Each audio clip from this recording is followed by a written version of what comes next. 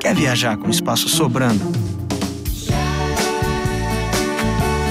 Novo Renault Logan, o maior porta-malas e espaço interno da categoria. Nunca foi tão fácil ter um grande carro.